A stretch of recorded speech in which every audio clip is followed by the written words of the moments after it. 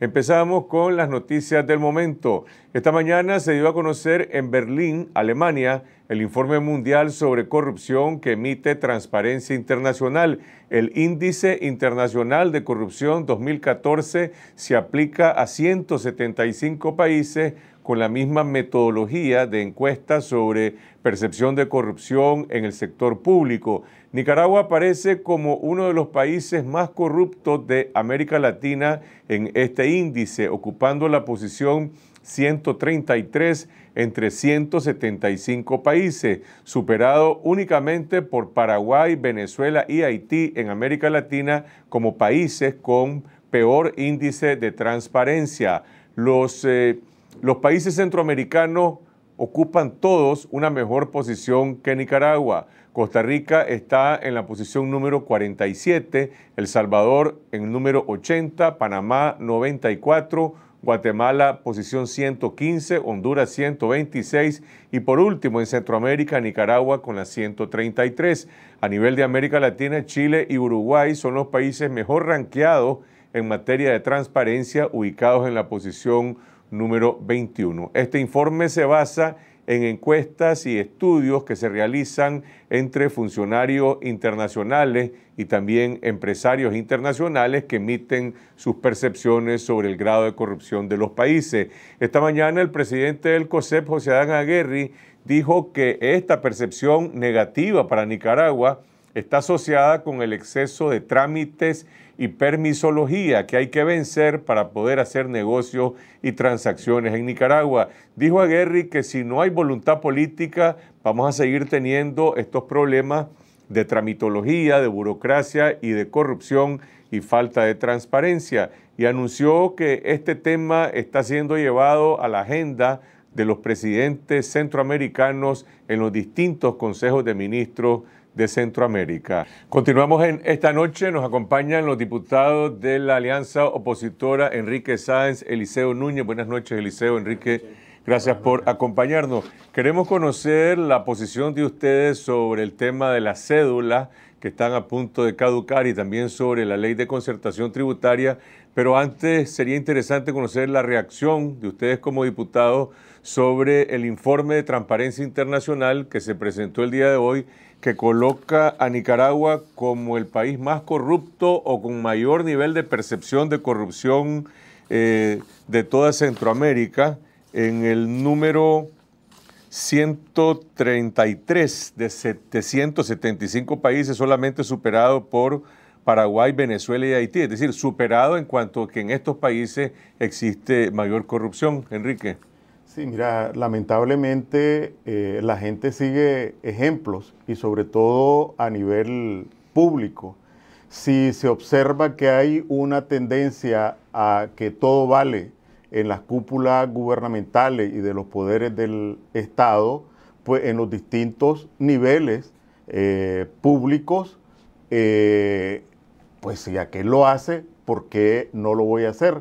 Realmente no es extraño porque eso es lo que uno escucha, eh, trátese de alcaldías, trátese de ministerios, que estos hechos sean multiplicados, incluso con todos los cuestionamientos a la Contraloría, y que ya sabemos pues eh, cuáles son los cuestionamientos, el último informe que presentó la Contraloría a la Asamblea Nacional ya revelaba que eh, las presunciones de responsabilidad penal, las responsabilidades civiles se habían multiplicado con todo y que la Contraloría declaraba que no alcanzaba a cubrir todo y con todo y que ya sabemos que tiene eh, una, eh, un mandato de no responsabilizar por lo menos a los grandotes. Ahora, este informe, este informe se basa en encuestas que se hacen con empresarios internacionales, ejecutivos, organismos internacionales, supongo como el Banco Mundial, como el BID y otros que hacen negocios con Nicaragua. Están hablando de, están comparando país con país. Y, lo, y lo más preocupante de esto es que cuando la corrupción se percibe tan generalizada, también se genera un sentimiento de que de esta manera yo puedo superarme económicamente. Entonces hay una competencia por entrar a la política no por razones eh, este, ideológicas, sino por razones de dinero. Y, realmente el problema de fondo es un colapso total de la institucionalidad, porque ante la ausencia de la posibilidad de ir a un juez, de seguir un juicio en un tribunal o cualquiera de los mecanismos que te permite la ley y el proceso administrativo, entonces vos encontrás que ahora podés sustituir cualquier código este, nicaragüense, sea civil, penal, por un fajo de billetes y te funciona lo mismo que si fuiste a estudiar eh, abogacía en Harvard. Yo supongo que una noticia como la concesión que se le otorgó a Wang Jin, eh, sin pasar por ninguna licitación y violando todas las propias normas nicaragüenses, tiene que tener un gran impacto a nivel de la, de la comunidad internacional que está midiendo transparencia y corrupción en Nicaragua. Pero no solo la concesión, que es el sumum, pero aquí también tuvimos la concesión de los escáneres que ni siquiera se sabe quiénes son los socios. Y aquí, junto a la gran impunidad, porque la corrupción exactamente va acompañada de impunidad y la ausencia, de un marco legal, la contracara de eso es la indefensión.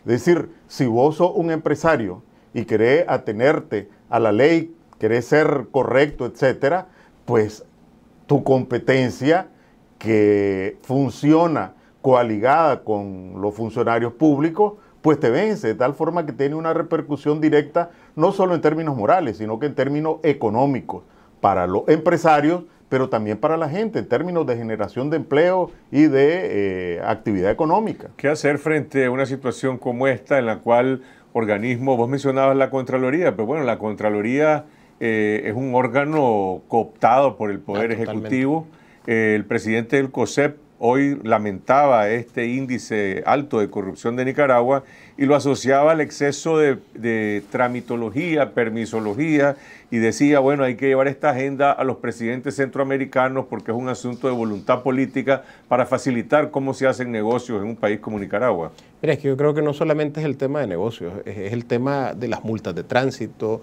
es el tema de los permisos en las alcaldías, de sacar una solvencia fiscal.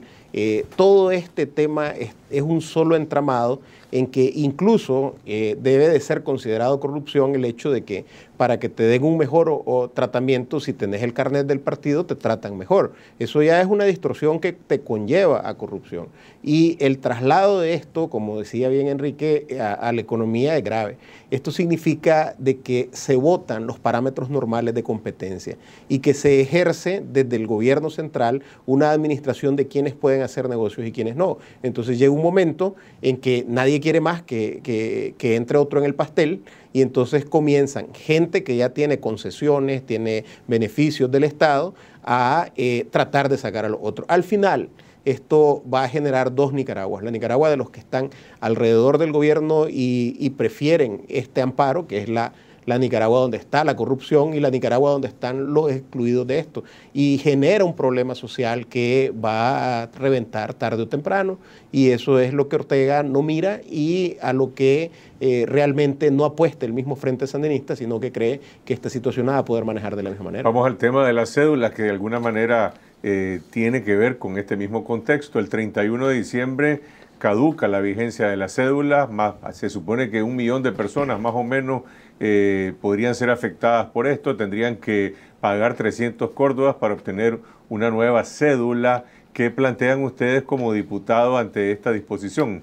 Mira, hay dos dimensiones rápidamente que puedo señalar. Primero, la dimensión Consejo Supremo Electoral. Aquí se han visto cédulas distribuidas en manos de un partido político, del partido gobernante, que se la entrega unas no se la entrega a otros. Hemos visto cédula en los albañales. ¿Qué culpa tienen los, los que tienen el derecho a esa cédula de no tenerla?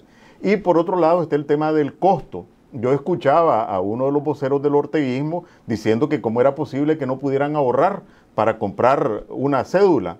Seguramente no sabe, y si no sabe, habría que decírselo, que el 50% de los nicaragüenses aquí está en el subempleo que el 80% de los nicaragüenses que tienen una ocupación están en el sector informal, que más del 40% viven con menos de 2 dólares al día, que uno de cada cinco que tienen una ocupación pertenecen a una categoría sofisticada que se llama trabajadores sin salario. Entonces, ¿de dónde va a agarrar esta gente los 300 pesos cuando es una obligación del Estado proveerla de manera gratuita a los ciudadanos? Suponete que alguna cantidad importante de personas eh, pudiera acceder a esa cantidad de dinero y recurrir a pagar la nueva cédula. ¿Tiene el Estado capacidad de emitir de hoy, 3 de diciembre, al 31, un millón de cédulas? Es que ese es parte del problema. Eh, eh, sería fantástico que todo el mundo tuviera el dinero y que el Estado pudiera proveerlas, o sea, que en cada municipio pudiese llegar, eh, se te tramita la reposición de la cédula y está, pero no existe ninguna de las dos cosas. Y Enrique decía, la mayor parte de la gente no tiene esa capacidad económica de pagar los 300 pesos. Y encima de eso, te están mandando a reponer una cédula en una red eh, para cedulación prácticamente inexistente. Entonces, tenés que venir a Managua para reponer la cédula. los 300 pesos le tenés que aumentar el pasaje, le tenés que aumentar eh, tu estadía en Managua. Y eso es prácticamente imposible. Este es uno de los actos de mezquindad política más grandes que yo he visto en este gobierno. Y es también otro acto en donde no están midiendo las consecuencias, porque la cédula no solamente te habilita para votar, la cédula como está concebida en este país es un habilitante de ciudadanía.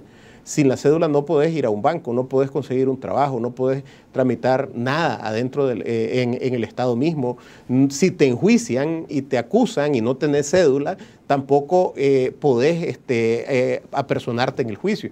Entonces, ¿qué es lo que está pasando cuando ellos deciden que un millón de personas pueden dejar de tener un documento que los acredita como nicaragüenses y que les permite trabajar y vivir normalmente. Entonces yo creo que aquí eh, se están equivocando y, en ese sentido en los próximos meses vamos a ver una presión enorme para que esto cambie y lo que sucede es que como fuimos nosotros, los de la bancada del PLI, los que propusimos la prórroga en la cédula, ellos no están dispuestos a dar nada. Ustedes eh, hicieron una propuesta, perdón, de una prórroga por un tiempo definido, limitado. Sí, nosotros eh, propusimos de que se eh, prorrogara hasta después de las siguientes elecciones para dar todo este tiempo a un consejo electoral que sabemos de que es ineficiente, pero que ya dos, tres años era suficiente. Ahora hay una propuesta nueva de uno de los diputados aliados del Frente que quiere reformar el artículo 35 de la, de la Ley de Identidad Ciudadana para extender la validez de la cédula de 5 a 15 años.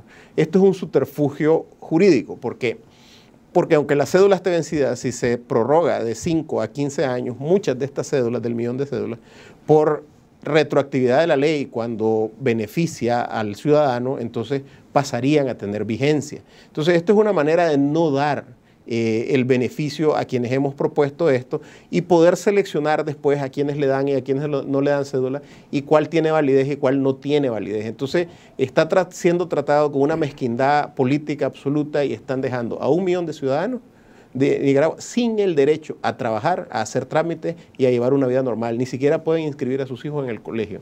¿Quién tiene la llave para resolver este problema? Esto está, es resorte de la Asamblea Nacional. El Ejecutivo podría eh, prorrogar o facilitar que esto se resuelva? Bueno, ya sabemos quién es el que tiene toda la llave aquí, ¿verdad? No, toda la llave están en el Carmen en manos de Ortega. Lo que él diga, eso es lo que van a hacer su representante en la asamblea. Obviamente a la asamblea a la que legalmente le correspondería tomar una, eh, pues, la, la decisión de prorrogarlo, pero también aquí hay otra dimensión. ¿Por qué cobran? Si esa gente, suponiendo que fueran tres meses, pues lo que se dan, y hay un millón, son 300 millones de Córdoba que le entran al Consejo Supremo Electoral en virtud de qué? Si no hay elecciones, ¿verdad? Eh, ¿Qué es lo que hace todo el aparato del Consejo Supremo Electoral? ¿Qué es lo que hace con ese presupuesto que tiene como para exigir a los nicaragüenses que están en esa condición precaria que vayan a pagarle 300 córdobas. Supongamos que, que van en tres meses y tienen la capacidad. Hace poco estaban renovando los carnets del Seguro Social y uno, uno no pagaba un centavo y es más o menos de las mismas características de la cédula. ¿Por qué el Consejo tiene que cobrar? ¿Existe una estadística confiable sobre cuántas cédulas de las nuevas de los 300 Córdobas se han emitido y las, eh, las que están a punto de caducar? No, El Consejo Supremo Electoral no da datos alrededor de esto. ¿De dónde salió, la, ¿de dónde el dato del millón de La cifra del millón es porque eh, las cédulas que se han emitido hasta antes de cinco años suman ese millón y que eh, es un cálculo, pues realmente, incluso puede ser más, porque si hay mucha gente que no ha renovado cédulas anteriormente, entonces encontraríamos que esa cifra puede ser mucho mayor. Ahora, esto le da la potestad al Consejo de otra vez manosear el padrón. O sea, el millón de, cédulas que quedan sin vigencia le permite al Consejo Supremo Electoral otra vez manipular el padrón y realmente yo creo de que Ortega en las elecciones del 2016, con este millón de cédulas más todo lo que ha hecho, no necesita falsificar ningún acta como falsificó antes. O sea, porque ya prácticamente irían votar, a votar nada más quienes él escoja que pueden votar en este país. En la agenda de la Asamblea está a punto de entrar a discusión en plenario eh, la reforma a la ley de concertación tributaria. Antes de hablar de ese tema, para cerrar lo de la cédula, lo de la cédula está en la agenda de la Asamblea, es decir, es algo sobre lo cual la Asamblea se pronunciará en las próximas semanas. Bueno, está una iniciativa y en consecuencia está en el ámbito de competencia de la Asamblea. Dependerá de la voluntad de Ortega, pues porque no podemos decir de los diputados o de la directiva, estará en la voluntad de Ortega y cuál es su determinación sobre este derecho de los nicaragüenses si efectivamente se aprueba o no en el periodo que tiene pendiente la Asamblea, que no son más que 15 días. Ok, vamos a una pausa, regresamos con la reforma a la ley de concertación tributaria. Eh, la ley de concertación tributaria, la reforma a esta ley ya ha sido dictaminada por la Comisión Económica de la Asamblea. Ustedes como bancada opositora tienen una posición de consenso sobre este proyecto. Sí, vamos a concluirla, esta posición, porque todavía no está el, el dictamen aprobado, ¿verdad? Hay una propuesta, estamos construyendo un consenso, pero me parece que lo primero que habría que decir sobre esto es que la ley de concertación tributaria se aprobó hace dos años. Va a ser una reforma a los dos años. ¿Hay una evaluación? No hay que se conozca una evaluación. Más bien hay, pero no se da a conocer. Eh, en consecuencia, lo primero que uno debe saber para participar efectivamente en la discusión de una reforma es cuál es el impacto de la ley que está reformando. Nosotros se lo hemos pedido al eh, ministro de Hacienda en plenario, en comisión, reiteradamente ofreció suministrarlo. El hecho es que hay un dictamen circulando y cuál es el impacto de la ley de concertación tributaria. Solo lo saben los concertadores, ¿verdad? La cúpula empresarial y sus contrapartes en el gobierno. Los nicaragüenses, ni los diputados, por lo menos eh, no se ha presentado oficialmente ni extraoficialmente cuál es el impacto real de la ley de concertación tributaria. Algo parecido pasa con las exoneraciones que de acuerdo a la ley deberían ser objeto de una evaluación, de informes periódicos del ministro de Hacienda. Ahora entiendo yo que uno de los puntos medulares de esta reforma es que el intento que el Estado había hecho en la ley anterior por establecer eh, ciertos eh, calendarios y obligaciones para que la extensión de las exoneraciones estuviera acompañada de planes de inversión y de algunas evidencias de sus resultados, queda completamente eliminado también. Eso es algo que me llama muchísimo la atención y no por el tema económico en sí, sino porque un gobierno tan político que de pronto suelte una herramienta que tenía para presionar al sector privado constantemente, porque eh, esta presentación de informes o cualquier otro mecanismo le permitía al gobierno manipular, maniobrar a la hora que el, sector privado quisiese algo que no estaba de acuerdo el gobierno. Entonces, en un gobierno tan político que está acostumbrado a un chantaje y una extorsión casi permanente con todos los mecanismos posibles, nos encontramos con eh, una liberalización de este mecanismo. Pero, se, podría, leer eso, perdón, como que el COSEP pues tiene mucha influencia sobre el gobierno para lograr ese que se despeje completamente la mesa de las exoneraciones.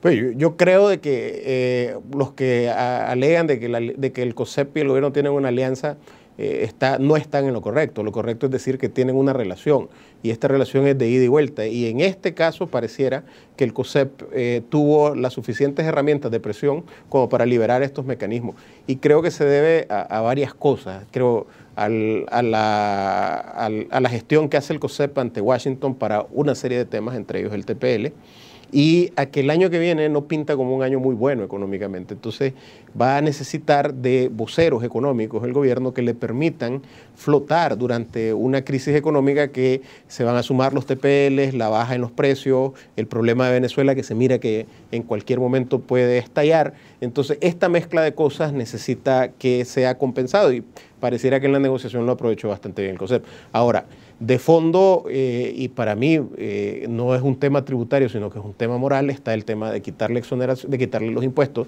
a los yates y a los helicópteros y, darle los, y ponerle impuestos a los zapatos y a la ropa hecha en Nicaragua. O sea, eh, un zapatito de un niño que va al colegio va a pagar 15% de impuestos, pero el que compra un yate o compra un helicóptero no va a pagar ningún impuesto.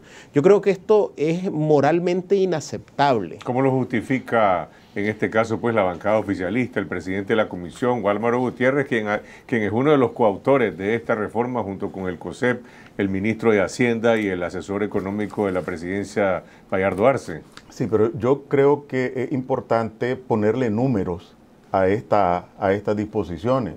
El presidente del Banco Central ha declarado que el costo de las exoneraciones va más allá de 600 millones de dólares es decir, casi un cuarto del presupuesto, más de un cuarto del presupuesto. Entonces, más de 600 millones de dólares. Y la disposición que están derogando era una disposición que hay que reconocer que era positiva, que es lo que establecía que en el lapso de dos años las empresas tenían que presentar un proyecto o para generar empleo o para modernización eh, tecnológica o para aumentar sus exportaciones. Una es decir, de justificación. Una, un incentivo, un incentivo, se utilizaba el instrumento fiscal para incentivar una mejora en la productividad que ya sabemos que es uno de los problemas centrales del país. Entonces ahora se quita. Yo agregaría a lo que dice Eliseo, es que no solo el COSEP, ¿verdad? Sino que ahora el grupo gobernante también es un poderoso grupo económico entonces no solo se trata de una concesión a, la cúpula empresarial aglutinada en el COSEP, sino que una autoconcesión, porque pagan impuestos esos 600 millones de dólares, que son otros 600 millones de dólares, ¿verdad? Los que vienen al amparo de la cooperación venezolana, ellos al final están autoeximiéndose al costo no solo de estos otros 600 millones de dólares, que es lo que valen las exoneraciones, sino que además al costo de perder una oportunidad de incentivar la productividad. ¿Cuál es el argumento que utilizan? Para favorecer el clima de inversión. Atracción de inversiones, generación de empleo. Sí, pero ese fue el mismo argumento con el que utilizaron la ley de concertación tributaria y disminuyeron impuestos y el resultado es que la inversión privada ha venido desplomándose. En consecuencia, en lugar de evaluar cuál es el impacto de esta ley que no ha incentivado, sino que más bien la inversión privada ha sido declinando, hacen una reforma escondida otra vez sin que nadie sepa cuál es el impacto de la ley anterior. Las eh, donaciones que reciben iglesias, organizaciones no gubernamentales, eh, diferentes fundaciones, ha habido mucha confusión en relación a que si finalmente en el dictamen de la ley estas serán grabadas, aquellas que no están cobijadas por eh, acuerdos de gobierno a gobierno. El argumento que se exgrime en el mismo dictamen de la ley es que no serán grabadas. ¿Existe garantía de que eso será así? Mira, ahí hay que separar dos cosas. Una es eh, las agencias internacionales de cooperación. Esas todo el tiempo han tenido un acuerdo con el gobierno y operan bajo ese marco referencial. Estamos hablando de AIDE, COSUDE, etcétera, todas las que están. Las otras son las ONG, continúan exoneradas, pero eh, le pusieron una colita al artículo que dice de que serán exoneradas en aquellas actividades de acuerdo con, la, con lo aprobado en su acta constitutiva. Y cuando vos te preguntas quién va a valorar si está de acuerdo la actividad con el acta constitutiva o no, llegas a la conclusión que, lo, quien lo va a valorar es la DGI. Entonces quiere decir que a muchas ONG que no le son adeptas al gobierno, no le son afectas al gobierno, eh, van a decir, hombre, mira, lo que estás haciendo no, no va de acuerdo a tu acta constitutiva y por tanto no te exonero. Pero además de eso, hay cosas también eh, sutiles que agregaron. Por ejemplo, en el artículo 3 eh, este, agregan de que quien se enriquezca y no tenga causa aparente justificada puede ser sujeto de una auditoría y de esta manera cobrar impuestos sobre la renta. ¿Esto cómo afecta? Uno, es un arma política enorme. Pues, o sea, si ellos miran que alguien repara su casa, compra un carro nuevo, pueden perfectamente mandarle una auditoría, aunque no tenga una empresa, porque es para la ciudadanía en general. Y pudiese ser incluso una manera indirecta de empezar a eh, cobrar impuestos sobre las remesas, porque las remesas es dinero que entra, no está justificado bajo una actividad económica dentro del país te lo regaló tu familiar, te lo mandó tu familiar, vos compones tu casa, reparas tu carro, incluso eh, las remesas funcionan de tal forma que le manda un carro, le manda algo, algunas veces mandas ropa, y entonces cualquier cosa de esas pueden decir que es enriquecimiento injustificado y se pasa a, a, un cobro. Entonces, ahí es donde miro yo de que lo que se están dejando son herramientas políticas que se las quitaron a la gran empresa privada, pero se las están dejando para la ONG y para el ciudadano común. Ahora, la Asamblea tiene potestad de abrir, de convocar a una discusión nacional sobre esta ley que ha sido discutida a puerta cerrada entre el COSEP y funcionarios del gobierno por casi, probablemente más de, más de 18 meses. ¿Cuánto tiempo ha estado propiamente en la Comisión Económica? ¿Cuánta consulta se ha realizado sobre esta ley? En realidad solo llegó el presidente del COSEP el ministro de Hacienda, porque la Conimipime que estaba eh, convocada, un día aparece las declaraciones del vicepresidente Antier haciendo un conjunto de objeciones y ayer presentan una carta del presidente de Conimipime diciendo que está totalmente de acuerdo, que no asiste a la consulta porque respalda la ley. Y es importante, sí, que la gente se pregunte, bueno, ¿y yo qué tengo que ver con, esa ley, porque a veces pasan las leyes y la gente no sabe cuánto le afecta. En materia fiscal, prácticamente en toda disposición alguien gana y alguien pierde. Voy a poner dos ejemplos. Uno, se está eh, limitando la importación de vehículos usados a siete años. ¿Quién gana y quién pierde con esto? Bueno, ganan los vendedores de autos nuevos. ¿Quiénes son? Tienen nombre y apellido, ¿verdad? ¿Quiénes pierden? Pues los sectores medios, que no tienen la capacidad de comprar un vehículo nuevo y un, recién, un profesional recién graduado o un profesional que tiene un empleo medio difícilmente puede adquirir un vehículo nuevo. Entonces ahí vos tenés un ganador y un perdedor. Eh, se está exonerando a los yates y a los helicópteros. ¿Quiénes son los que tienen yates y helicópteros? Y habría que recordar, por ejemplo, siempre hablando de ganadores y perdedores, que hace unos meses se hizo una reforma presupuestaria porque las recaudaciones bajaron a causa de la ley de concertación tributaria. ¿Qué significó eso?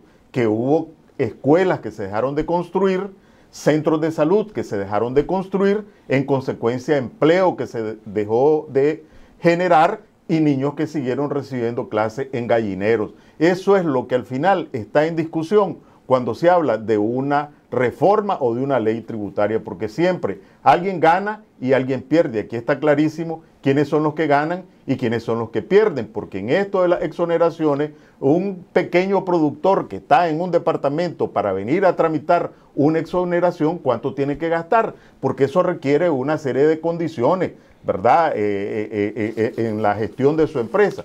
de tal manera de que, sin perjuicio de que hay exoneraciones que son justificadas, es importante saber por qué. Porque además el ministro de Hacienda está obligado a informar trimestralmente quiénes son exonerados, por cuánto son exonerados, con base en qué disposición legal. Jamás ha cumplido esa. Ahora, ese incumplimiento del ministro de Hacienda puede ser, puede ser recurrido, puede ser acusado por diputados, por particulares, por ciudadanos en relación al incumplimiento de la ley. Pues sí puede ser recurrido, pero la Constitución dejó este, el requisito de los 56 votos, es decir, el, el este, 60% de la Asamblea, de los diputados de la Asamblea, para poder este, interpelar a un ministro. Entonces, eh, básicamente, tiene todas las cartas de su lado, el gobierno. Además de eso, aunque tuviésemos del otro lado los 56 votos, yo estoy seguro que Ortega haría cualquier cosa para no permitir que, un ministro de él sea interpelado. En el plenario, la próxima semana, ustedes van a, o sea, pueden... Eh, que presentar un punto de vista al menos disidente sobre este proyecto. De hecho, nosotros vamos a presentar eh, nuestro punto de vista sobre el proyecto, que difiere bastante desde el punto de vista del gobierno. Eh, el mecanismo que vamos a utilizar todavía no lo hemos determinado, mañana vamos a tener una reunión para eso. Sin embargo, lo que te sé decir es de que aquí eh, los más castigados siguen siendo los sectores medios, son los que no están sentados en la mesa negociando. Y ahí es donde está la mayor carga de esto. Como, como, como dije, el, el problema aquí es ya casi de moralidad, o sea, estás exonerando un yate y un helicóptero y estás grabando zapatos y ropa que puedes utilizar para la escuela. Entonces, esto eh, distorsiona totalmente el concepto que tenés de, equidad fiscal, de incluso de equidad de trato frente al ciudadano.